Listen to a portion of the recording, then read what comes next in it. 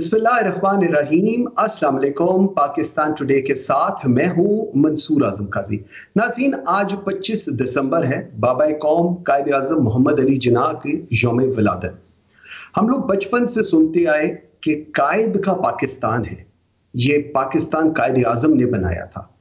कायद आज़म का विजन क्या था? कायद आज़म की सोच क्या थी? वो नज़र नज़रिया क्या था? जिस पर कायद आज़म ने पाकिस्तान बनाने का सोचा, मुसलमानों के लिए एक अलहदा मुल्क बनाने का सोचा। आज अगर हम बात करें कि आज का पाकिस्तान कायद आज़म मोहम्मद अली जिना का पाकिस्तान है तो एक बहुत बढ़िया बड़ा सवालिया निशान खड़ा हो जाता है।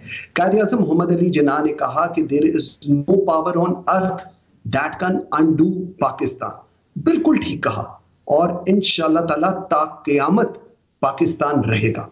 लेकिन हम बहसीत कौम, हमारे आज के रहनुमा, जिस बंद गली में जा रहे हैं, क्या हमें लगता है कि ये वो विजन थी जिसको लेकर कायद आज़म ने पाकिस्तान बनाया था? क्या ये वो कुर्बानियाँ थी जो हमारे अबाओ अजदाद ने दी, जिसके रिज़ल्ट में पाकिस्तान बना? सो जवाब नफी में होगा। क्या ऐसी वजूहत है कि आज के हमारे रहनुमा, जिन्होंने मुल्क को चलाना है, जिन्होंने इस कौम को, इस नई नस्ल को एक डायरेक्शन देनी है, वो आपस में बात करने के रवादार नहीं। क्या वजह है वो साथ बैठने के रवादार नहीं? क्या वजह है कि उनके दिल के अंदर इतना एक दूसरे को लेकर गुस्सा और बोझ नज़र आता है कि पूरी कौम इस वक्त आँखें लगाए बैठी है कि ये लोग कब चीज़ों को आगे देखकर चलेंगे। प्रोग्राम के फ़र्स्ट सेगमेंट में इसमें बात करेंगे। प्रोग्राम के सेकंड सेगमेंट में हम बात करेंगे। नाजीन जब जंग होती है तो उसका भी जो एंड रिज़ल्ट है, वो अमन है। बातचीत है। टेबल टॉक्स है। लेकिन किन टर्म्स एंड कंडीशंस के ऊपर हुकूमत वक्त और अपोजिशन टेबल टॉक पर आ सकती है। रियासत पाकिस्तान क्या किरदार अदा करेगी? क्योंकि रियासत पाकिस्तान का किरदार अदा करना बहुत ज़रूरी है। बातचीत सिर्फ़ बातचीत की हद तक नहीं होगी। बातचीत अगर होगी तो उसका कोई रिज़ल्ट आएगा। इकदाम उठाए जाएँगे। अवाम थक गई है रोज देख देख कर अपोजिशन क्या कह रही है, हुकूमत क्या कह रही है और प्रेस कॉन्फ्रेंसेस से। अवाम भी चाहती है कि जमहूरियत आगे चले और पूरा पाकिस्तान चाहता है कि जमहूरियत आगे चले। आज के अपने पूरे प्रोग्राम में हम इस पर बात करेंगे। आई एम वेरी ग्रेटफुल मुझे टू सीनियर पार्लियंस ने ज्वाइन किया है। सैटर नुमार वज़ीर खटक ने। आप सेनेट ऑफ़ पाकिस्तान के अंदर पाकिस्तान तहरीक इंसाफ को रिप्रेजेंट करते हैं और सैनटर शाहीन खालिद भट्ट ने आप सेनेट ऑफ़ पाकिस्तान के अंदर पाकिस्तान मुस्लिम लीग नून को रिप्रेजेंट करते हैं। नाजिन इन दोनों से बात करते हैं। एक छोटी सी ब्रेक के साथ आप मेरे साथ रहिएगा।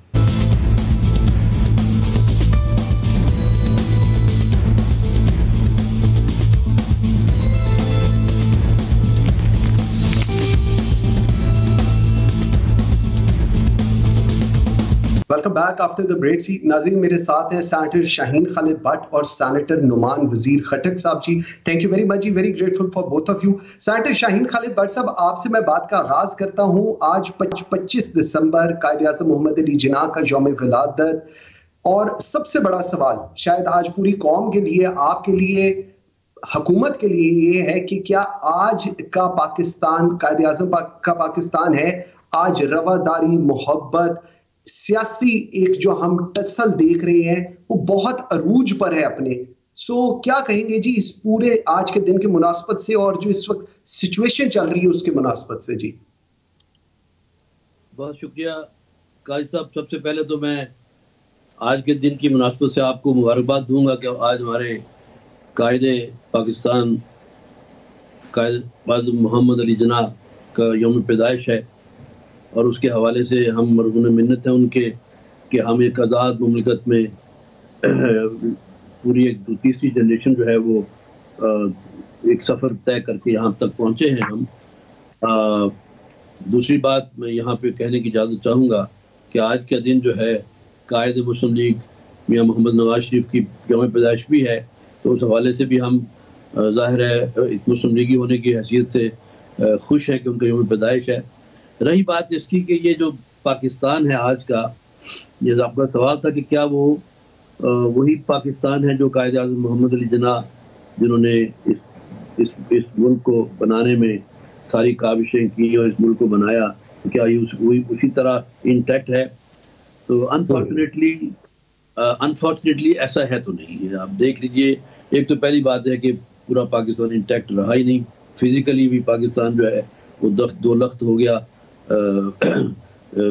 बांग्लादेश और पाकिस्तान की शक्ल में एक तो ये बहुत बड़ा सानिया हुआ हमारे साथ और उसके अलावा आपने बड़े खुद ही आपने पॉइंट कर दिया कि रवादारी और मोहब्बत और और कंसल्टेशन के जो तमाम जो अच्छाइयाँ कायद आज़म मोहम्मद जना जो के जिनके बारे में ये हम्म। मशहूर है कि उन्होंने एक पूरी तहरीक चलाई और एक मुल्क को आज़ाद किया लेकिन कभी भी उनको जेल में नहीं डाला गया ना डालने की ज़रूरत हम्म। महसूस की कि he believe in talking he believe in discussing he believe in logic he believe in in in merit unfortunately आज आप देख रहे हैं कि हुकूमत वक्त जो है उनके पास एक ही हथियार है कि अपनी अपोजिशन अपने मुल्क की अपोजिशन अपोजिशन भी तो एक गवर्नमेंट का मैं समझता हूँ एक हिस्सा होती है तो उसके साथ किसी किस्म की नेगोशिएशन किसी किस्म की बातचीत करने से वो गुरेजा हैं।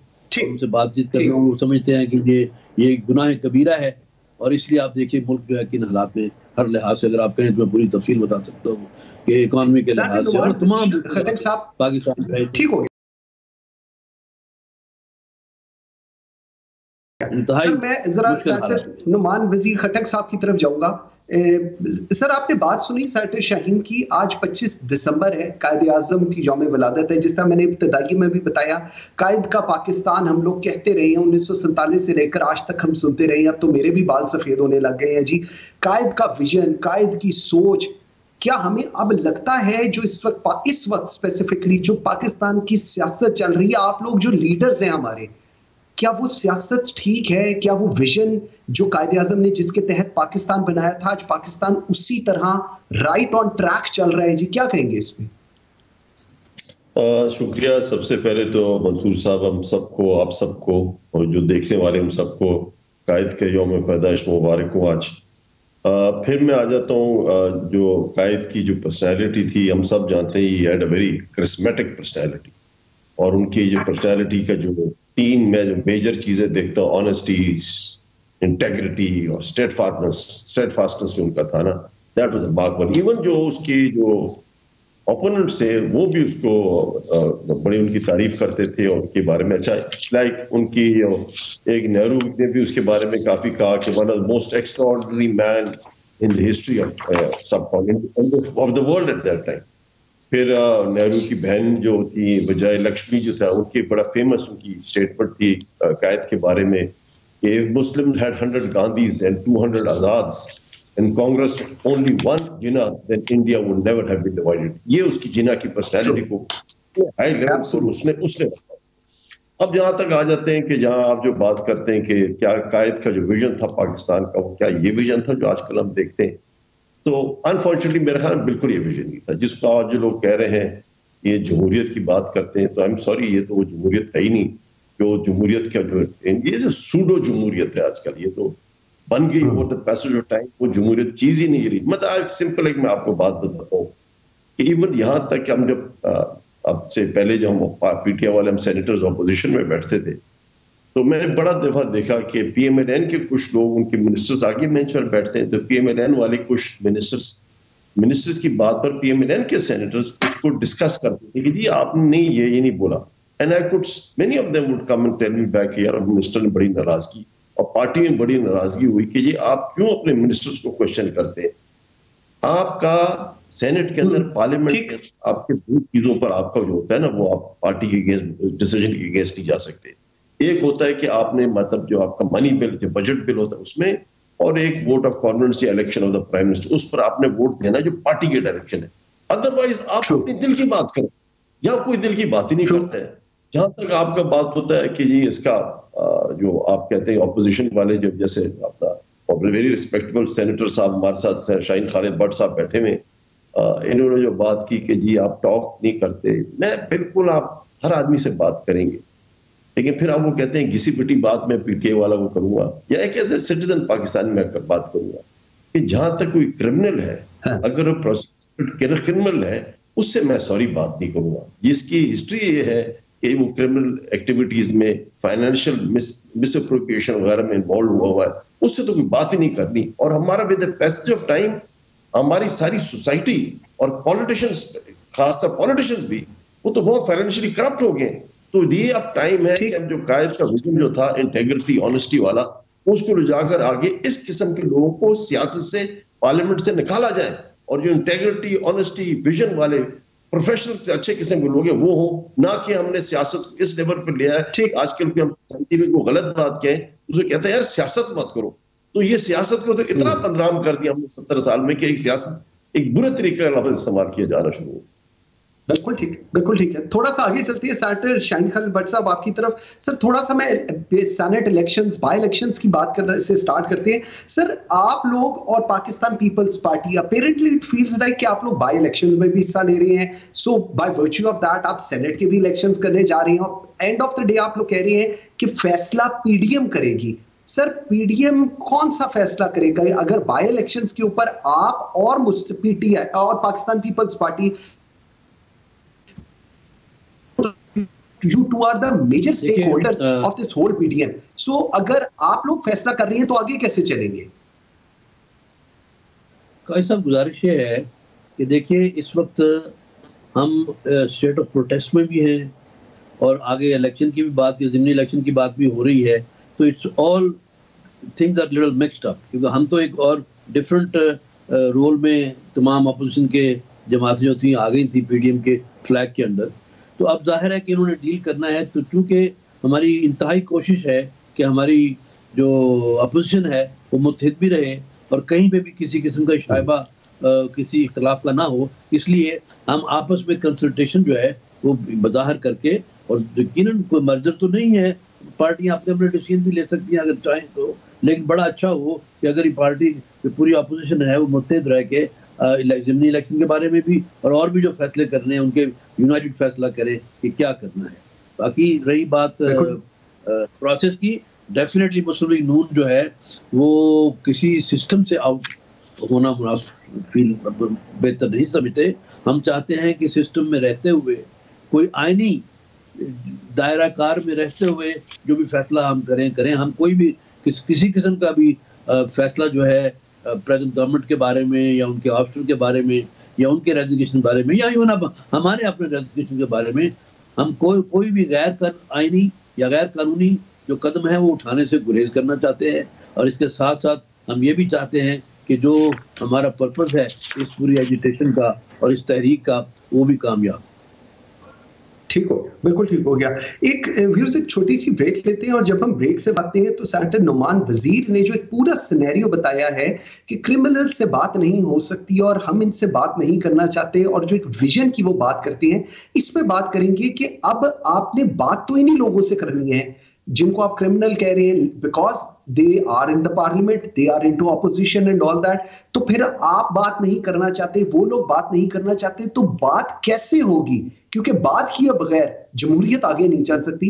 एक ब्रेक लेते हैं, मेरे साथ रहिए। Welcome back after the break ji. Senator Noman साहब सर मैं ये चीज़ आपके पास लेकर आना चाहूँगा। Dialogue is very important in democracy Pakistan Tehreek Insaf Pakistan Muslim League, known People's Party, PDM, you all people are not willing for dialogue. ये पिछले कोई 10-12 दिनों से हम देखा है एक बिल्कुल एक स्टक हो गई है कि जी हम बात नहीं करेंगे वो आपको सिलेक्टेड कह रहे हैं आप उनको करप्ट जैसी चीज़ें कह रहे हैं। सर तो फिर चीज़ें आगे कैसे चलेंगी? जमहूरियत को हम आगे लेकर जाने के लिए क्या अगर आप लोग, जो कि लीडर है, मैं दोबारा कह रहा हूँ, आप लोग लीड कर रहे हैं पूरे मुल्क को, अगर आप लोग ये एक आपस में बात नहीं करेंगे तो फिर बाकी जमहूरियत को हम आगे कैसे लेकर चलेंगे? जी। मंसूर साहब दोनों चीज़ें गलत ना हम सिलेक्टेड हैं, ना ये करप्ट करप्ट इनमें भी ऐसे लोग हैं जो करप्ट नहीं है। एंड हाई परसेंटेज ईमेल में और पीपल्स पार्टी में ऐसे लोग हैं जो इंटेग्रिटी वाइज ऑनेस्टी वाइज बिल्कुल ठीक है। अब मैं like I mean Peoples Party में हमारे सेनेट में ताज हैदर साहब थे, रजा रब्बानी है, शाहीन खालिद साहब बैठे हैं आपके साथ है, आयशा रजा है, बहुत और इस तरह, बहुत और भी हैं। अल्टीमेटली एंड देन प्राइमरली मुझे जो लगता है, अगर ये इस तरह ही चलते रहे ना तो बड़ा अफसोस होगा कि ऑपोजिशन कोई रहेगी ही नहीं पार्लियामेंट के अंदर। PTI will so much dominate in the future elections कि आगे ये डोमिनेट ही करती जाएगी और जब तक ऑपोजिशन अच्छी ना हो, एक मुल्क के लिए अच्छा नहीं है। तो मैं जो, मुझे जो नज़र आता है कि फ्यूचर इसका क्या है इन दोनों पार्टी ये शाहीन साहब अग्री नहीं करेंगे मेरे साथ अल्टीमेटली इनमें एक ब्लॉक बनेगा जो इंटेग्रिटी वाला फॉरवर्ड ब्लॉक कह दें या इंटेग्रिटी ब्लॉक कह दें, वो बनेगा इसके अंदर। और वो इंशाल्लाह बनना भी चाहिए। दोनों पार्टी से बनना चाहिए और एक अच्छी ऑपोजिशन सामने आनी चाहिए। वो जो इंटेग्रिटी ब्लॉक होगा, जो ईमानदार लोग, सारी तो क्रिमिनल नहीं, मैंने आपको पहले बोला इनके अंदर।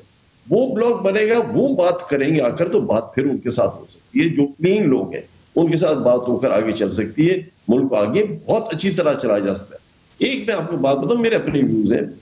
अभी जो हमें लीडरशिप मिली प्राइम मिनिस्टर जो मिला है unquestionably is a man of integrity no one कोई मेरे ख्याल में अपोजिशन वाला भी ये नहीं कहते कि जी ये फाइनेंशियल मिस अप्रोप्रिएशन या किसी गलत चक्कर में पड़ा हुआ है।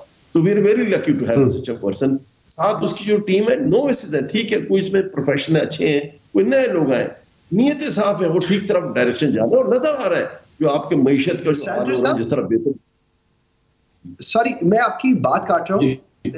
सेंटर नुमान साहब सर मुझे एक चीज़ बताइएगा आपने ये बात की और ये सवाल आज ढाई साल बाद भी है।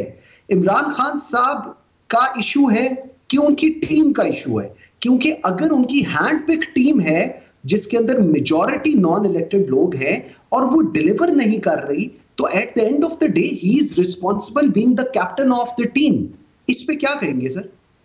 बिल्कुल ठीक बिल्कुल ठीक कहते हैं आप। He be responsible as far as the top man is concern and rest नीचे उनकी कैबिनेट वगैरह सब वो भी रिस्पॉन्सिबल बनते हैं। टीम को देखा ना जी आप ठीक कहते हैं हम जो शुरू में आए हमें बड़ी चीज़ें पता नहीं था। कोई हमारे पार्लियामेंटेरियंस में पार्टी में ऐसे लोग थे जो एक्सपीरियंस थे लेकिन वो कम थे। ज़्यादातर हमारे जैसे आप देखते भी हैं पुराने ऐसे मिनिस्टर्स कम है जो पहले एक्सपीरियंस थे नए आए हैं। उसके लिए आपने अगर मुल्क को ठीक तरह चलाना है मुल्क का फ़ायदा देखना और पार्टी का फ़ायदा भी इसके अंदर है। अगर रिज़ल्ट अच्छे हाँ। आएँगे आने इलेक्शन में हमारी पोजिशन अच्छी होगी। तो वी पर फोर्स जो कानून में लिमिट लिखा हुआ है कि आप कर सकते हैं ऐसे लोग रख सकते हैं। आप छह महीने तक एक मिनिस्टर किसी को बना सकते हैं जो बनाया गया अभी शेख साहब को बनाया गया। शेख को बनाया गया। ठीक। है कानूनी तरीके उसके आगे चले। लेकिन अगर आप एक इदारा एक मुल्क चलाना चाहते हैं और अच्छे लोग रखना चाहते हैं आपने रखेंगे आप। आपको करना है और करना चाहिए। और यही हम कर रहे हैं। आप रजाक दाऊद साहब को देख लें किस तरह अच्छा परफॉर्म किया आपने। अभिषेक साहब को देख हैं मीशत का क्या हो रहा है एफबीआर की क्या पोजीशन है फिगर्स ठीक है जी। ठीक हो गया, ठीक। सैटर शाहीन साहब, मैं थोड़ा सा आपकी तरफ़ आऊँगा इस चीज़ को लेकर। एक जगह ये पूरी डिस्कशन है जो कि बड़ी वैलिड डिस्कशन है और ये होनी भी चाहिए। दूसरी तरफ़ अगर हम देखें अराउंड द कॉर्नर जी सेनेट इलेक्शंस आ रही है। आसिफ अली जरदारी साहब ने मियाँ नवाज़ शरीफ को फ़ोन किया है और उनसे रबता किया और उनसे कहा है कि अगर हम सेनेट इलेक्शंस में हिस्सा लें तो 15 से 20 सीटें निकाली जा सकती हैं। दूसरी तरफ़ हम देखते हैं कि मरियम नवाज़ कहती है कि मुँह पर मार देनी चाहिए रिजिग्नेशन तीसरी तरफ़ हम देखते हैं कि अली मोहम्मद अली दुरानी साहब, शबाज शरीफ साहब को भी मिल रहे हैं। ये पूरा सिनेरियो क्या बनने जा रहा है? सर, देखिए, बड़े फ्लैंक्स के ऊपर काम हो रहा है और हर बंदे का अपना अपना, मरियम ने अपना एक एक अपनी, अपने, एक अपने फ्रस्ट्रेशन या अपने गुस्से का इजहार किया है कि गुस्से में उन्होंने कहा है कि हम मुँह पे मारेंगे बात उनकी दुरुस्त है कि अगर अब यूनाइटेड फैसला तो हमने कर लिया है कि अगर पीडीएम के प्लेटफॉर्म के ऊपर तमाम जमातें ये फैसला करती हैं कि हमने रेजिग्नेशन देना है तो आप देखिएगा कि तमाम लोग जो हैं एक भी नहीं बचेगा सब लोग रिजाइन करेंगे। तो ये उनका मतलब है लेकिन बात गुजारिश ये देखिए। मुझे इजाज़त दीजिए कि मैं थोड़ा सा रिस्पॉन्स करना चाहता हूँ नुमान वज़ीर साहब की बात के ऊपर। माशाल्लाह मैं इसमें कोई शक नहीं है कि पूरे सेनेट में और ख़ास तौर पर पी टी आई में नुमान वज़ीर साहब बड़े मोत दिल और बड़े सुलह पसंद सेनेटर हैं। इनसे बात करना हमेशा बड़ी प्लेजेंट रहा और साथ साथ चलते हैं ये। तो ये सिर्फ़ मैं आज बड़ा हैरान हुआ उनकी एक एक ख्वाहिश से और यकीन ये इनकी ज़ाती ख्वाहिश नहीं हो सकती। ये पीटीआई की ख्वाहिश तो ज़रूर हो सकती है कि हम मुस्लिम लीग नून से एक फॉरवर्ड ब्लॉक बने और फिर उनसे निगोशिएशन करेंगे। मैं मैं समझता हूँ कि ये ख्वाहिश करना और ढाई साल की एफर्ट लग गई फॉरवर्ड ब्लॉक बनाने में मुस्लिम लीग नून में। अभी तक तो नहीं बना। अभी तो इनके पास टाइम बहुत थोड़ा रह गया है। बजाय इसके ऊपर कुछ एफर्ट करें, बजाय प्रेस कॉन्फ्रेंस के ऊपर इतना वक्त ज़ाया करें, ये अपनी गवर्नेंस में कुछ वक्त लगाएँ तो शायद इनकी गवर्नमेंट जो है, वो कुछ टाइम निकाल दे। वरना तो जो इनके हालात हैं, माजरत के साथ नुमान साहब, जो हालात गवर्नमेंट के हैं, जो जो जिस तकलीफ़ में से पूरी कौम गुजर रही है, मैं नहीं समझता कि ये गवर्न जो ये जो गवर्नमेंट है ये ज़्यादा देर चल सकती है। और फिर इनके विद इन ओन पार्टी जो लोगों की डिफरेंसेस हैं और हर बंदा अपनी अपनी बात करता है। मुस्लिम लीग नून जो कि अंडर सो मेनी क्राइसिस और हमारी लीडरशिप सारी इन्होंने जेल में डाली हुई है। उसके बावजूद आप हाँ। देखिए कि हमारी तरफ़ से आपको इनको किसी किस्म का इस किस्म का कोई मामला किसी से, सेनेटर से किसी मेंबर ऑफ़ नेशनल असम्बली से या मेंबर ऑफ़ प्रोविंशियल असम्बली से कभी नज़र नहीं आया। हम तो अभी तक यूनाइटेड हैं। ठीक। और मेरा ख्याल है इसका इसको ये तर्क कर दें और कोई और ऑप्शन ढूंढे क्योंकि फॉरवर्ड ब्लॉक बनने वाला नहीं है मुस्लिम लीग नून में। इस इंतज़ार में रहेंगे तो अपना वक्त भी जाया करेंगे और कौम का वक्त भी जाया करेंगे। बिल्कुल ठीक है। व्यूअर्स एक छोटी सी ब्रेक लेते हैं और जब ब्रेक आते हैं सेनेटर वज़ीर से ये जो एक है फॉरवर्ड ब्लॉक का या फिर ट्रैक टू जिसकी मोहम्मद अली दुरानी साहब बात कर रहे हैं, इस पर बात करेंगे, मेरे साथ रहिएगा। Welcome back after the break ji. Senator Numan Wazir साहब, सर, मैं ब्रेक्स पे जाने से पहले आपके लिए एक सवाल छोड़ गया था। मैंने कहा, मैं उससे आपका जवाब भी ले लूँ। लेट मी रीफ्रेज इट आप लोग निगोशिएट किस तरह करेंगे? Because negotiation are very important हमने देखा आप ही के इतिहादी मुस्लिम लीग फंक्शनल के मोहम्मद अली दुरानी और पी पगाड़ा साहब, वो मोहम्मद अली दुरानी साहब गए हैं, शबाज शरीफ को मिले हैं और ट्रैक टू की बातें कर रहे हैं। सर तो कहीं ना कहीं तो डायलॉग होगा, सामने नहीं होगा, पीछे होगा, लेकिन डायलॉग तो होना बड़ा ज़रूरी है जी। पहले तो मैं सबसे पहले अपना with all respect to senator Shaheen Khalid साहब मैंने तो इनके फ़ायदे की एक बात की थी मतलब पी एम एल एन के और पीपल पार्टी के फ़ायदे की और पाकिस्तान के फ़ायदे भी बात की थी। अपोजिशन कुछ चलता रहे तो चल, बेहतर होगा बल्कि मैंने अदरवाइज़ मतलब ये तो अभी जो हो रहा है कि एक गुस्से में आकर एक आदमी आदमी जो फैसला करता है, वो गलत फैसला होता है। और सबसे खतरनाक क्या चीज़ होती है कि गुस्से में आकर एक औरत एक फैसला करे। और वो औरत एक फैसला कर रही है पी एम एल एन के अंदर, वो सबसे खतरनाक फैसला होगा। जैसे उन्होंने क्या बोला? ये लीड एक पीएमएलएन वाले कर रहे हैं कि जी आप, ये रेजिग्नेशन दे दें। रेजिग्नेशन से क्या बनेगा? आप क्या चाह क्या रहे हैं रेजिग्नेशन रेजिग्नेशन दे दें। आपने जो सेनेट का इलेक्शन आना है, आगे होने वाला है, उसके अंदर आपके जो है ना नेचुरली सब पीटीआई के बहुत ज़्यादा सेनेटर्स आ जाएँगे। और अगर आप रेजिग्नेशन देते हैं तो और भी ज़्यादा आ जाएँगे। आप अगर समझते हैं कि रेजिग्नेशन देने के कानून क्या कहता है?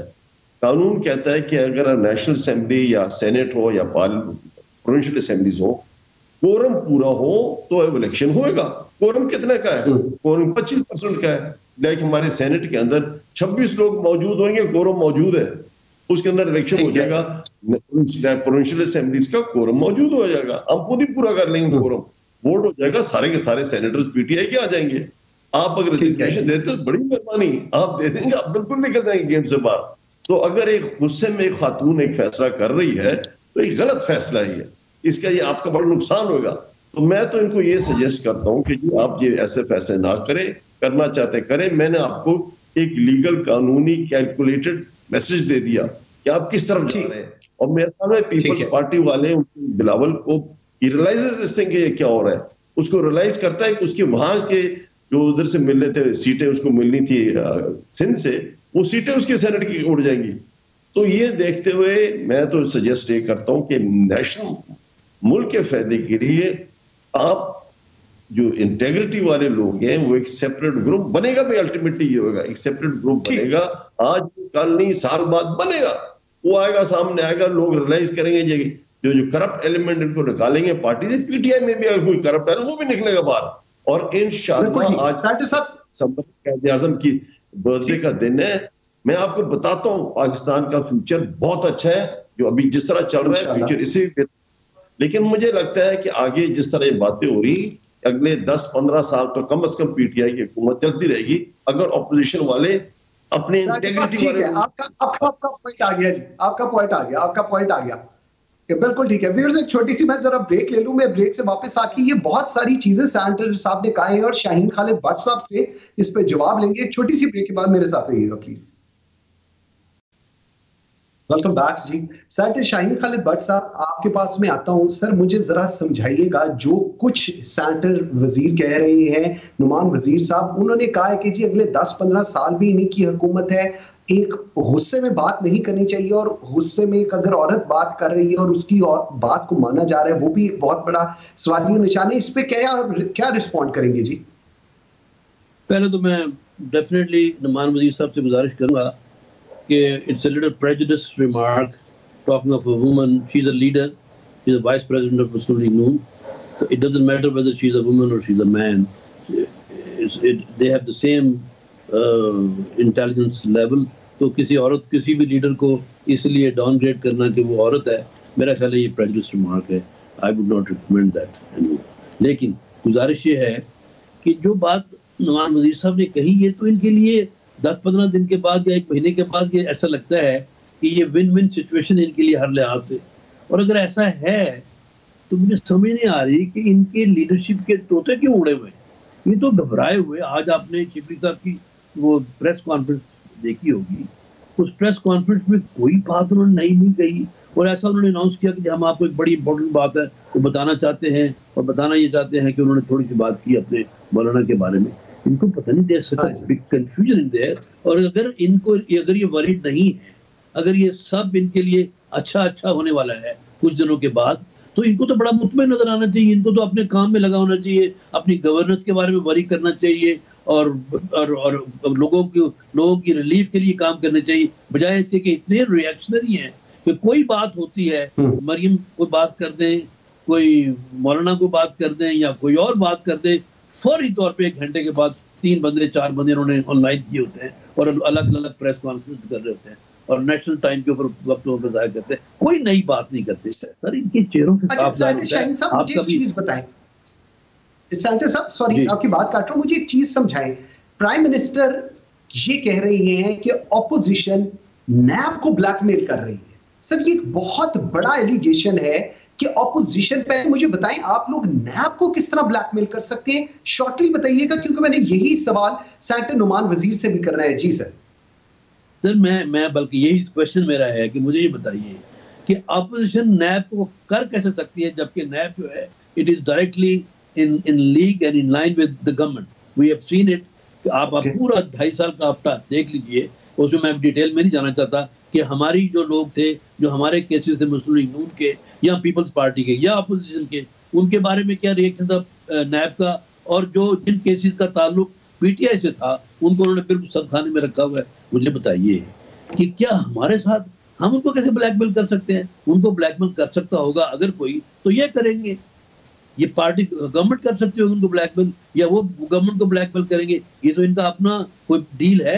हम हम तो सजा काट रहे हैं हमारी लीडरशिप तो नैब के अंदर आप देखिए हमजा डेढ़ साल से डेढ़ पौने दो साल से जेल में है अपने नैब की कस्टडी में है मियाँ शहबाज भी वहाँ पे है। अब तमाम लीडरशिप हमारी और कौन कौन जो है जिसको छोड़ा तमाम लीडरशिप हमारी जो एक कैटेगरी की थी वो नैब की जो है कस्टडी काट के आए तो हमारा तो उनसे हम तो काट रहे हैं। हम तो बेनिफिशरी हैं नैब के एक्शन के। सर पॉइंट आ गया आपका। सैटर साहब, मुझे सैटर नुमान साहब, मुझे एक चीज़ बताइएगा। मोहम्मद अली दुरानी साहब की मुलाकात के ऊपर मैं शॉर्टली आपका व्यू चाहूँगा। वो कहते हैं, जी, मजाकरात होने चाहिए। टेबल टॉक होनी चाहिए। पार्लियामेंट को फंक्शनल करना चाहिए। एक ग्रैंड डायलॉग होना चाहिए। ट्रैक टू उन्होंने इस चीज़ को नाम लिया और सीक्रेटली होना चाहिए। हर चीज़ पब्लिक होनी ज़रूरी नहीं, क्योंकि जो ट्रैक रॉट ट्रैक रिकॉर्ड